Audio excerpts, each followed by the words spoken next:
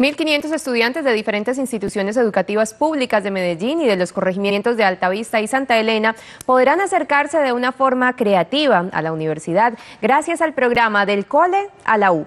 La estrategia de Sapiencia busca que los jóvenes se convenzan de la importancia de ingresar a la universidad, pero sobre todo decidan mantenerse en ella.